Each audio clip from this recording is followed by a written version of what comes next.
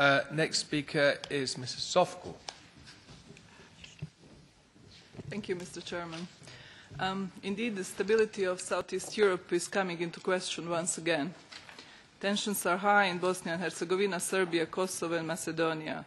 The mainstream thinking is that they are most, uh, mostly manifested as it concerns the Republika Srpska entity. However, the tensions are much wider, and this is most reflective from my perspective of the public messages being sent from Serbia and from Bosnia and Herzegovina directed toward an EU member state, Croatia. Several high-level salvos have come from Serbia against Croatia, related indeed in some degree to differences between the two countries on accession negotiations, but there are other motivations as well. Croatian foreign minister in December cautioned Serbian authorities that they are using the language and passions that we heard only during the era of Mr. Milosevic in the 19th. From this perspective, the letter from Mr. Juncker to Mr. Vucic to calm the tensions very helpful, was very helpful. Going forward, it will be important that Croatia maintains restraint as it has, but even more important that the EU member states and the European Parliament to show solidarity with Croatia regarding inflammatory rhetoric coming from Serbia, as Mr. Juncker did.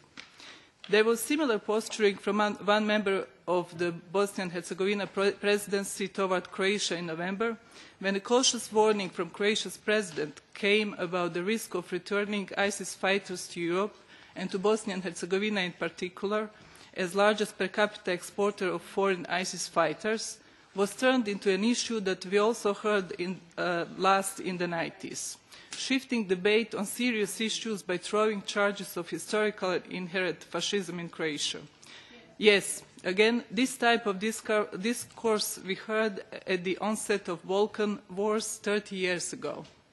As we are all working on, to downscale these tensions, we should also keep in mind that some member states may be more affected if these tensions turn negative. Thus, we should slow, slow policy solidarity and other types of support when necessary. Croatia has such a geographical position which raises several important peace and security issues tied to its long borders with Bosnia and Herzegovina, Serbia and Montenegro, as well as the sea routes.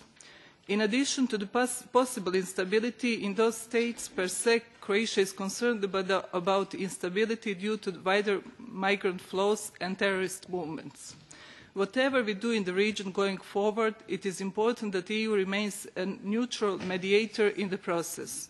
We should not pick sides.